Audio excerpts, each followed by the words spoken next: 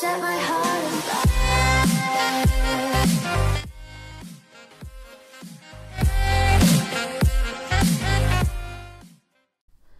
guys, it's John here. Today I'm going to be telling you how to film cinematics in Destiny. First up, you want to load into a private match on your desired map. Then equip a sword of any type. What we're going to do now is a gun glitch. To perform this, you want to pull out your sword with no ammo, press Y or triangle, and then immediately spam your RB or R2 button if you're on PlayStation. Then go into settings and turn off your HUD. Record the cinematic and add your favourite effects. Thanks for watching, don't forget to leave a like and subscribe.